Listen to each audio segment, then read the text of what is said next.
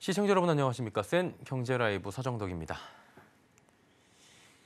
인플레이션 장기화에 경기 침체까지 겹치며 소비 양극화 현상이 뚜렷해지고 있습니다. 고가의 명품이 아니면 또 초저가를 찾는 소비자들이 늘어나고 있는 추세인데요.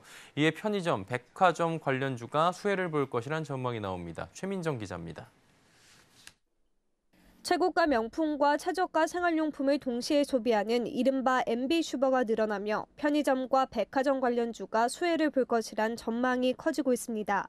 이번 달 들어 편의점 관련주인 BGF 리테일과 GS 리테일은 각각 10.19%, 17.32% 상승했습니다. 현대백화점도 같은 기간 10% 넘게 상승했습니다.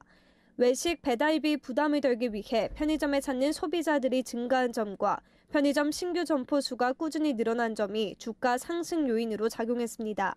증권가에선 편의점 시장의 성장 여력이 아직 많이 남아 있다며 경기 불황 속에서 점포당 매출액이 커질 것이라고 내다봅니다. 중에서 편의점은 출점 비용 자체가 워낙에 싸기 때문에 사실은 공급 부분에서 상당히 조금 빠르게 확대가 될 수 있는 영업 환경이 이어졌던 거고 여기다가 수요적인 측면에서는 1인 가구수 늘어나면서 이분들이 이제 방문 횟수 자체가 구조적으로 증가할 수밖에 없기 때문에 소비 양극화로 편의점과 함께 백화점에 대해서도 장밋빛 전망이 나오고 있습니다.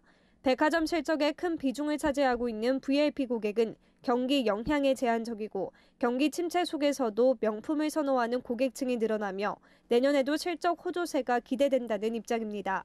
이진엽 하나투자증권 연구원은 reopening에 따라 한국 럭셔리 시장 내에서 외국인 매출 상승도 기대해 볼 수 있다며 외국인 매출 비중이 코로나19 이전 5%까지는 최소한 회복 가능할 것이며 일본과 홍콩의 비중까지 확대되면 백화점의 수혜 강도는 더욱 커질 것이라고 전했습니다.